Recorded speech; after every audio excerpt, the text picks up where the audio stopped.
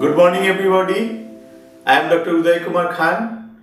Today, I am going to discuss about the experiment on electron spin resonance ESR spectroscopy. Electron spin resonance spectroscopy. And I am going to give you the demonstration on how to determine the magnetic field as a function of resonance frequency and how to determine the Landé's G factor for free electrons. And before going into the experiment, we have to understand the basic principles of the experiment and the functioning of a ESR spectrometer. So this ESR spectrometer, electron spin resonance spectrometer works on the spinning property of an electron which is at resonance. Electron is a fermion has spin half. So if as the electron is a negatively charged particle when it rotates about its own axis in the clockwise direction, then it gives rise to a magnetic moment mu s. Having direction along this when it rotates in the clockwise direction. And similarly the same electron when it rotates in anti-clockwise direction then it generates magnetic moment in the opposite direction and this magnetic moment is related or can be designated as the electron spin quantum number ms is equal to plus half and ms is equal to minus half. This case when it rotates clockwise then the magnetic spin quantum number ms is equal to plus half and when it rotates anticlockwise then the magnetic spin quantum number becomes minus half. This particular ESR spectroscopy has another name. This is called electron paramagnetic resonance spectrometer or the corresponding spectroscopy is called the electron paramagnetic resonance spectroscopy. And in this case, particularly, the substance we use should have one unpaired electron. So the material we are going to use should have an unpaired electron.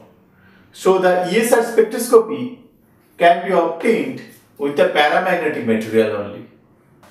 Now let me discuss about the working principle of the experiment we are going to do with the help of electron spin resonance spectrometer. So for that, suppose magnetic field along this direction H and one electron is having ms is equal to half state is revolving around the H with a frequency nu naught. This is called Larmor precession. So when one magnetic field is switched on in the vicinity of an electron, the electron rotates about the magnetic field with a frequency nu naught and this rotation is called the Larmor precession and the corresponding frequency nu naught is called the Larmor frequency. And this Larmor frequency nu naught has the expression G E 4 pi m into h where G is the Landé's G factor Is the electronic charge, M is the mass of the electron and H is the field.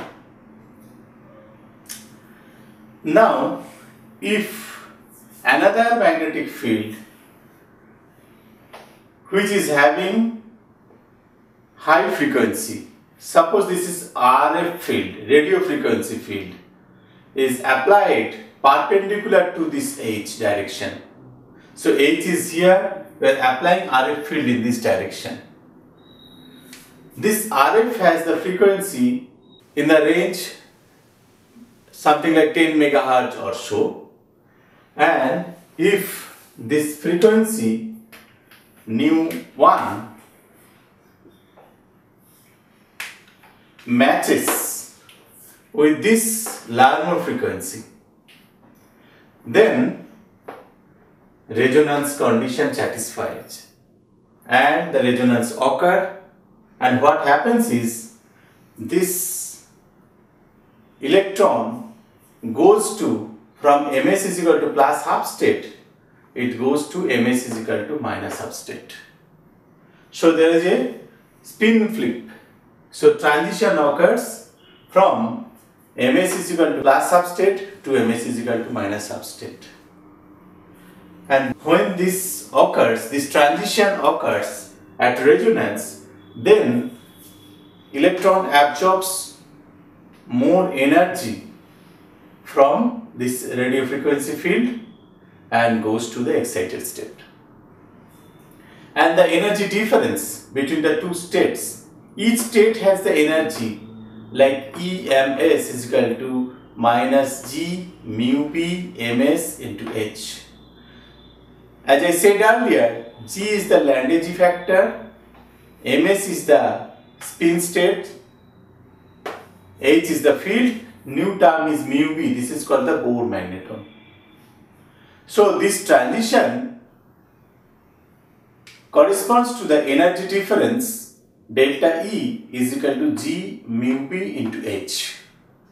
Therefore, to have electron spin resonance from spin up state to spin down state, this condition should be satisfied nu 1 is equal to nu 0 and this energy difference delta E should be equal to h nu 1. So h nu 1 should be equal to g mu b into h or h is equal to h by g mu b into nu 1.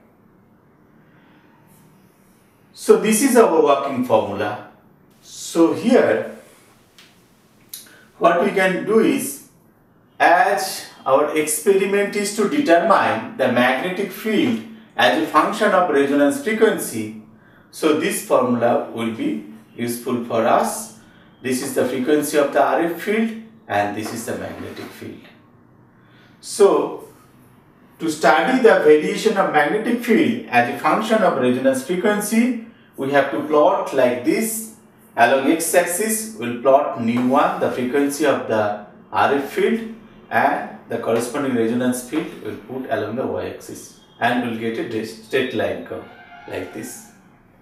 And this curve will have a slope of h by g into mu b. So calculating the slope h by g mu b, h is the Planck constant we know, mu b is the Bohr magneton we know. And the slope if we know. So if it works like h by g mu b is equal to slope then g can be obtained. So Landé-G factor can be obtained from this study also so till now I have discussed the working principle of the experiment now we'll go to the details of the experiment. So I need some blank space in the board. This is the circuit we are going to use for our experiment. This experiment was initially done by the great scientist Zavoisky in 1945 and the sample he also used diphenyl picryl hydrazine DPPH. It's a paramagnetic sample having one unpaired electron. So this circuit has two coils. This is the coil, it's called the Helmholtz coil. Helmholtz coil is to get the main H, H field as I showed you earlier. And this H field is driven by a current source. This is a sinusoidal wave of 50 Hertz. And why we take this sinusoidal wave will be clear soon. Okay. The next part is the RF oscillator. This there is RF coil and the sample is kept inside the coil. This DPPH is kept inside the coil. This is RF oscillator. So RF signal of frequency some few megahertz comes from this oscillator. Then the signal we obtain due to the electron spin resonance, the absorption signal is detected with the help of a detector, it's a diode detector. And then this is the signal is amplified with the help of audio frequency amplifier and taken to the Y channel of CRO, cathode ray oscilloscope or os oscilloscope. And this original signal goes to the Helmholtz coil is fed in the X channel of CRO. So in CRO, X and Y channel signals are there and to get the pattern we have to adjust the phase between the two signals so that's why we have a phase shifter here.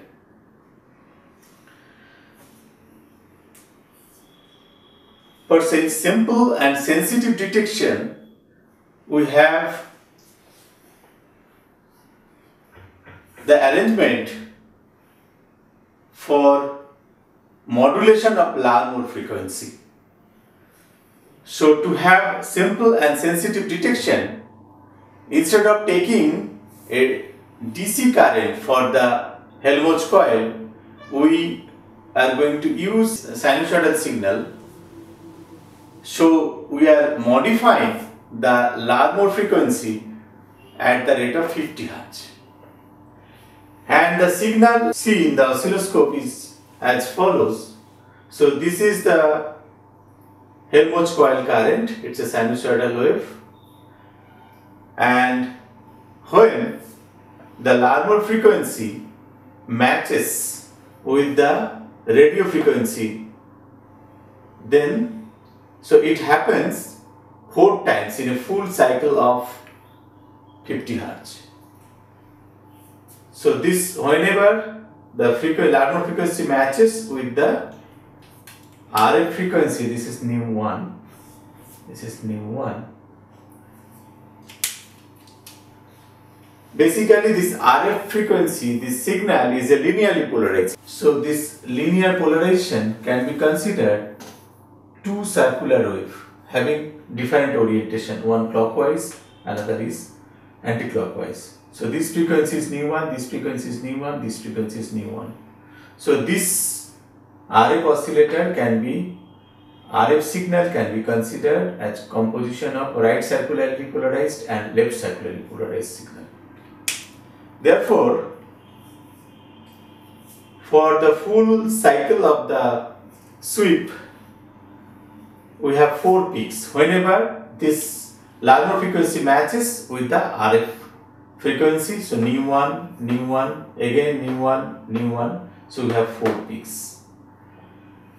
So with the help of phase shifter, we can adjust to match the signals like 1 and 2 will be merged and then 3 and 4 will be merged.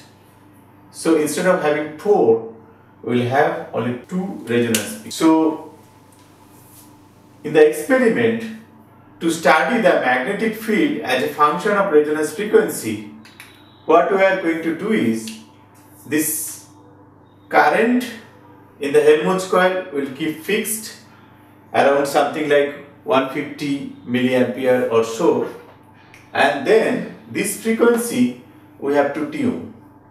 So we'll start with frequency something like 12 megahertz or 13 megahertz and then we'll change the frequency. So for one particular RF frequency what we have to do is we have to look at the signals. So first we'll see the peaks in the CRO in YT mode and then we will go to the XY mode of the CRO and we look at the two peaks and what we have to measure is what is the full stretch full length of this signal and then what is the separation between the two peaks. Uh, in the oscilloscope screen there is a grid so from that we can measure the full this length and the separation between the peaks. So we know the frequency here, we will be able to calculate as I showed you earlier the working formula, we can calculate the magnetic field and then we have to plot along x-axis the frequency of the RF signal and along the y-axis the resonance magnetic field. So from that plot we will be able to find out the Landé factor also calculating the slope of the curve. So now let's do the experiment. This is the full setup of electron spin resonance spectrometer. This unit has the control for Helmholtz coil so you can send current from here then we have the arrangement for RF field. So the frequency of the RF field can be adjusted with the help of this frequency. And the phase of the X and Y signal as I showed you in the board can be adjusted with the help of this phase knob. And the X and Y signal can be taken to this oscilloscope channel 1 and channel 2 for x and y respectively. Okay? And this is the Helmholtz coil. And we have the RF coil here inside which the DPPH sample is kept. So this RF coil gets the current from here with this cable. And we can set the frequency here. So let's do the experiment I am setting the frequency of the RF coil something like 13 megahertz.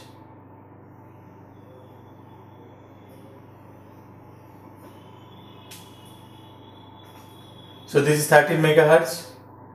And the Helmholtz coil gets the current from this these two connectors are here. So we can set the current say we set the current something like okay 140 or so. And phases we keep the center. And now I have to look for the signal. So let's see how it goes.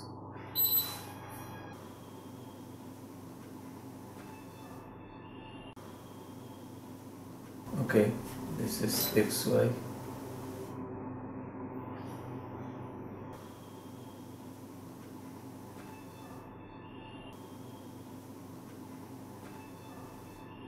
so as I showed you in the whiteboard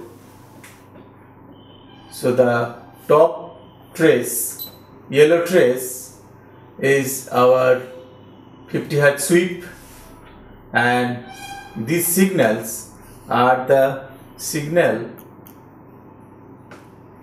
for the electron spin resonance. Then what I have to do is I have for one full cycle I have four peaks. So I have to adjust the phase to get them. These two should merge, these two should merge and for that I have to first go to the XY mode. So if I go to the XY mode, then I have the four peaks. So we have four peaks now. Then if we adjust the phase then we can see that these two are getting merged. These two are again getting merged. So we are now left with only two peaks. So in x scale we have the peaks at two different positions. Though along y-axis they don't match properly. That is immaterial for us. So now what we can do is uh, the experiment to study the magnetic field with the resonance frequency. So we have to measure what is the separation between the these two ends. That is the p value for us. And for that we can adjust it like this. So on the grid we keep these two peaks symmetrically about these two this vertical this vertical line. So along this vertical line magnetic field is zero. As we go away from the vertical line the field increases field increases. And the peaks we are getting so the separation between the two ends that is p for us as i showed you in the whiteboard and separation between the peaks. This is 2q for us. So q means the separation from the midpoint till one of the peak. So p and q we have to measure.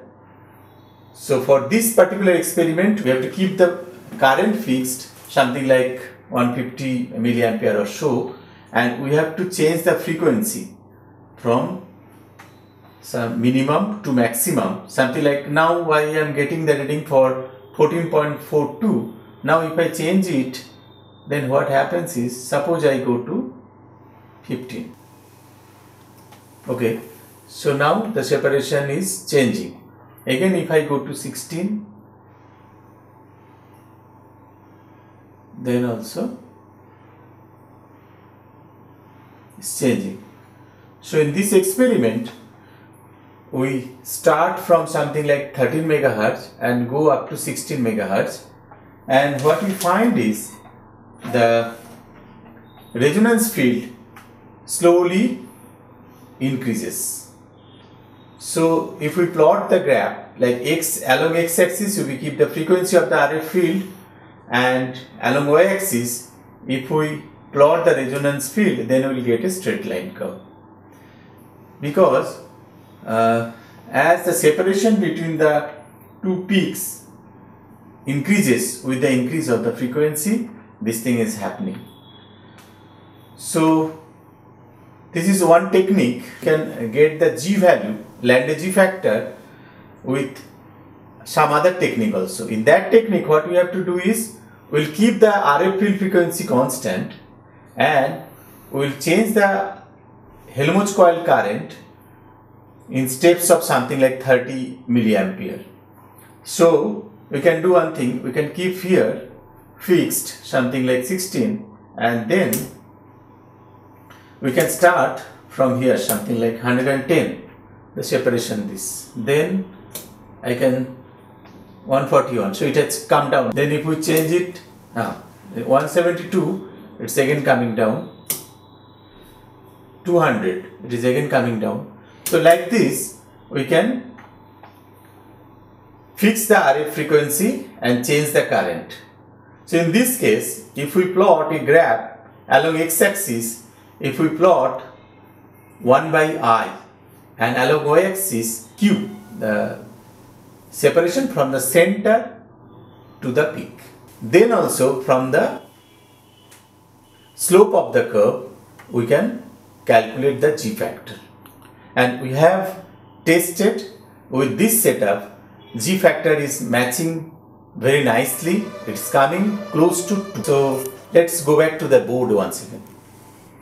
So we have studied the electron spin resonance or electron paramagnetic resonance with the help of electron spin resonance spectrometer. And we have obtained the magnetic field as a function of resonance frequency. So this experiment as I showed you during the experiment two types of data can be taken one is for variation of RF field frequency we can have the resonance field and in other case we can study the variation of 1 by i along x-axis and q along y-axis.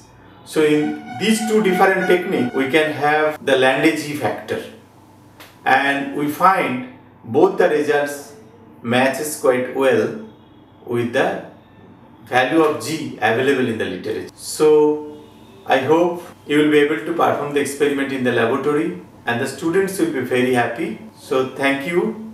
Thank you for watching this video. Have a nice day.